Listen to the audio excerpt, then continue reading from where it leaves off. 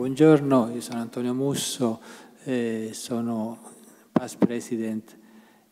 della Società Italiana Docenti di Trasporti e vengo qui a portare il nostro saluto come ente patrocinatore di questa conferenza organizzata da Agostino, da cui mi lega un'amicizia quasi cinquantennale, 48-49 anni sono passati, e Gianni Corona con cui abbiamo condiviso molti interessanti situazioni nell'ambito della SID. E poi ringrazio anche EGAF dell'organizzazione che ha portato avanti. Allora, la SID che cos'è? La SID è la Società Italiana Docenti di Trasporto, lega circa 160-150 soci e nasce da un'idea geniale, innovativa, dei famosi maestri di cui parlava Gianni Corona prima. E nasce nel 1983, quindi 36 anni di vita, e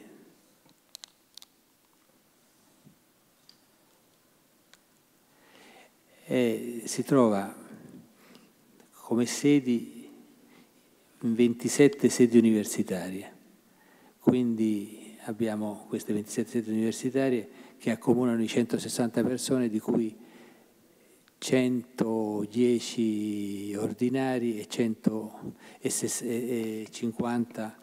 juniores, perché la società è divisa in soci ordinari che sono professori di ruolo che si occupano di trasporti del settore ICAR 05, professori di eh, emeriti che sono professori di chiara fama a livello internazionale, che hanno partecipato a dei convegni organizzati dalla nostra società, dando lustro a queste conferenze, a questi convegni e alle loro specializzazioni. Tra di essi possiamo ricordare il professor Werner Rotengatter che venne a Venezia circa sei, mi pare, nel 2011, e il professor Ayashi che è stato presidente della WCTRS, la Conferenza Mondiale della Ricerca dei Trasporti, il, eh, chi possiamo dire ancora? Xiao Pan, che è un professore cinese che è stato il presidente della, della, conferenza mondiale della ricerca dei trasporti del 2016 organizzata a Shanghai e altre persone che hanno contribuito a rendere importante la nostra società nell'ambito dei convegni, tra cui José Viegas, che è stato segretario generale del, del eh, OXE Trasporti, e Karen Lucas, che si occupa di social inclusion in ambito mondiale, è stata la prima persona che si è occupata di questi problemi. Come ha detto prima Gianni Corona, eh, la società eh, SID persegue numerose strategie. Queste strategie sono indirizzate verso vari settori. La ricerca, quindi attraverso una multidisciplinarità della ricerca scientifica, l'eccellenza, la cooperazione in ambito nazionale e internazionale con altre società simili, quindi ricordo anche il rapporto con la, con la SIV che si sta sviluppando sempre di più negli ultimi anni per poter portare avanti delle azioni comuni anche in ambito eh, CUN, in quanto si stanno rivedendo tutte le declaratorie dei singoli eh, corsi di laurea e dei singoli settori scientifico-disciplinari. Un altro punto che persegue la società è quello della formazione. La formazione riguarda la cultura, la diffusione della cultura della mobilità attraverso convegni, seminari e pubblicazioni. Noi abbiamo un convegno annuale che viene splittato in un anno come seminario e in un anno come convegno, quindi un anno partecipano anche attivamente con la presentazione di paper i colleghi eh, del, nel seminario, mentre l'altro anno ci sono eh, personalità politiche istituzionali e della ricerca stranieri che partecipano a questo convegno, quindi un anno sì, un anno no. Il convegno si svolge normalmente a Roma, il seminario dove le singole università si offrono di ospitare. Per quanto riguarda la formazione, abbiamo altri due punti da prendere in considerazione, quello di procedere, aiutare alla costituzione di corsi di laurea in ingegneria dei trasporti o corsi aventi come il settore scientifico disciplinare RICAR 05, che è il nostro settore, come settore caratterizzante. Quindi abbiamo attualmente a Roma una laurea magistrale che riguarda il settore dei trasporti e una laurea in inglese che, che ha, sta avendo molto successo. Altre università hanno incrementato la loro presenza come settori caratterizzanti nell'ambito del, del nostro settore RICAR 05. L'ultimo punto riguardante la formazione è quello della realizzazione di corsi di formazione e su questo punto torneremo un pochino più tardi, eh, però eh, mi piace ricordare che c'è stato un corso di formazione, una summer school per dottorandi di ricerca organizzata l'anno scorso dall'Università di Salerno. Qui c'è il professor Cantarella che con grande passione si è dedicato a questa attività che ha avuto un successo notevole con più di 30 studenti che si sono eh, presentati e hanno instaurato oltre una conoscenza, perché in quanto c'erano 15 colleghi che gratuitamente si sono eh, impegnati a spiegare le, le parti più importanti de, dei loro corsi e quindi hanno avuto questi studenti sia un, un background molto importante nell'ambito dei trasporti, sia hanno iniziato delle amicizie che potranno poi si sono già consolidate nel seminario successivo di, sempre di, di Salerno di quest'anno eh, in eh, dei ricerche comuni e dei paper comuni. Quindi è molto importante questa presenza dei giovani e questa presenza di questi seminari che possono dare un valore aggiunto notevole alla nostra società. E in ultimo abbiamo un, eh, un obiettivo di sostenere le strategie di utilizzo dei veicoli e fonti energetiche sostenibili e questi sono i punti che riguardano poi eh, il nostro impegno verso l'esterno di cui parleremo più tardi. Voglio ricordare molto velocemente gli ultimi convegni, si parlava del convegno del 2009, io passo al 2010 2010 è stato un convegno molto importante organizzato sempre dall'Università di Roma riguardante un'agenda per la ricerca nella sicurezza stradale, convegno a cui sono intervenuti i direttori generali del Ministero dei Trasporti eh, che si occupano di sicurezza sono intervenuti eh, funzionari della Commissione europea ed altri esper esperti che si occupano di sicurezza. Poi passiamo al convegno del 6 ottobre del 2011 di Genova, è stato il diciottesimo convegno nazionale, che ancora era convegno e seminario. Questo convegno ha parlato di sostenibilità economico-finanziaria, energetica ed ambientale dei sistemi di trasporto ed il contributo dell'innovazione tecnologica. Convegno che ha avuto molto successo, come dicevo c'è stata la relazione metodologica generale di Rottengatter e su questo poi si è discusso per due giorni su, su questi temi e si, si è iniziati con, a,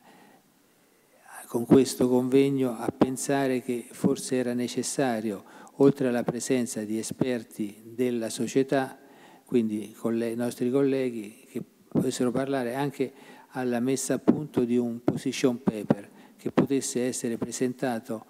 in anticipo ai convegnisti e anche ai relatori, in modo da poter discutere questa posizione paper e poi portare avanti delle raccomandazioni verso il mondo politico, verso il mondo economico, verso il mondo istituzionale. Abbiamo Padova nel 2012, la riduzione delle risorse nel settore del trasporto collettivo, effetti economici, sociali, ambientali e possibili soluzioni. In questo, come dicevo, è intervenuto Karen Lucas dell'Università di Leeds, che ha dato il suo contributo perché è stata eh, la prima che si è occupata di social inclusion nei paesi e nelle città del, dell'UK, della Gran Bretagna, e quindi ha messo in moto una serie di, di domande, di quesiti che, a cui ha risposto e che sono serviti poi ad alcuni colleghi per preparare dei paper che riguardassero questo tema. Poi andiamo a Trieste, ottobre 2013, il ruolo dell'ingegneria dei sistemi di trasporto in una visione moderna delle infrastrutture e dei servizi. Anche in questo caso non ci sono stati ospiti stranieri, però c'è stato il sindaco di, di Trieste che ha fatto il suo intervento dando un, eh, un indirizzo a, alla, al convegno stesso, dando un indirizzo alle, alla successiva discussione e anche questo ha avuto un, buon, un enorme successo sia di presenti sia di eh, invitati. Poi arriviamo al 2014. Il 2014 a Roma abbiamo avuto un eh, convegno riguardante i cambiamenti climatici e il futuro del trasporto urbano. In questo caso si è presentato un position paper che è stato discusso dai vari eh, partecipanti. Sono intervenuti oltre a varie personalità eh, straniere, il direttore della Commissione europea del, del, del clima, poi come dicevo José Viegas che era il segretario generale dell'Ox Trasporti, quello che si chiama ITF, International Transport Forum, poi sono intervenuti altre persone e oltre a questo sono intervenuti i, gli assessori all'ambiente e ai trasporti sia di Roma sia di Torino. È stato un convegno di grande spessore, ha avuto un grosso riscontro anche a livello giornalistico. Nel 2015, 14 settembre, c'è stato un seminario scientifico, è cominciata qui la, la divisione, la suddivisione tra seminario e convegno, quindi a Torino si è parlato di metodi e tecnologie nei sistemi di trasporti, quindi un,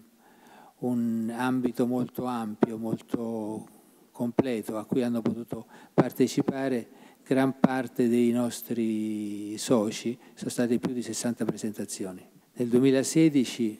abbiamo avuto un convegno sempre a Roma riguardante l'Italia e la competitività del sistema portuale e logistico nell'area del Mediterraneo, nuovi scenari di riferimento a cui ha partecipato il professor Van der Worter che è dell'Università di Anversa. È stato un interessante convegno perché poi è venuto a monte di un convegno successivo del giorno dopo organizzato da Stefano Ricci, un convegno annuale che loro fanno su, su, sulla portualità. Abbiamo seminario di Bari del 2017 verso città sostenibili, soluzioni innovative per la mobilità e la logistica. Anche in questo caso stati più di 60 presentazioni. Interessante notare come si è passati da un eh, utilizzo delle presentazioni e dei paper su dei proceedings eh, redatti dalla Franco Angeli a dei, delle special issues organizzate proprio per i convegni da journal, per esempio Transport Policy, eh, Ingegneria Ferroviaria e altri giornali con grande potere impattante, a cui i nostri autori hanno cercato di accedere eh, passando tutta la, la procedura che è abbastanza pesante e faticosa prima di essere accettati. Quindi a, a Bari abbiamo avuto Transport Policy e dopo un anno e mezzo abbiamo avuto finalmente la special issue con sei, con sei paper che erano stati presentati durante il seminario. Summer School, Summer School, questo è il programma. Dal, dal 5 al 12 settembre, organizzato dall'Università di Salerno, che ha fatto in modo attraverso una serie di finanziamenti dell'università di rendere per gli studenti il pagamento della quota molto limitata, quindi c'è stata la possibilità di essere ospitati nel campus eh, di Fisciano della città di Salerno, ci sono stati vari eh, pranzi e cene eh, con una cena di gala in cui si è parlato del, eh, anche della SID e del suo ruolo per, specialmente per i giovani ricercatori e per i giovani accademici.